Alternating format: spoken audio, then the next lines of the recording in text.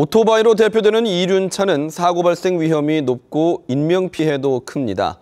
경남에서 최근 이륜차 사망 사고가 크게 늘었는데요. 경찰이 안전모 착용 등을 강력하게 단속합니다. 정유진 기자가 동행 취재했습니다. 신호를 위반한 오토바이가 도로를 질주합니다. 헬멧은 벗은 상태입니다. 보행자가 다니는 인도도 버젓이 운행합니다. 사고의 위험이 높을 수밖에 없고 사고가 나면 운전자의 큰 부상이 우려되는 현장입니다.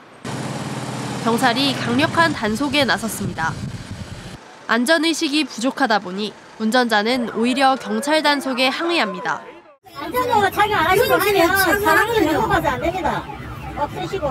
내가 부르기 신호 위반 운전자는 도주를 시도합니다. 급해갖고 했다 왜? 월급 내면 되잖아.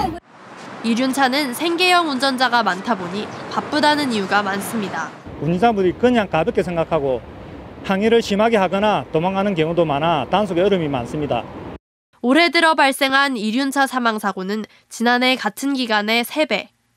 4월 들어 발생한 교통사고 사망자 중 절반 이상이 이륜차 운전자일 정도입니다. 특히 헬멧을 착용하지 않으면 착용했을 때보다 사망률이 2배 높습니다.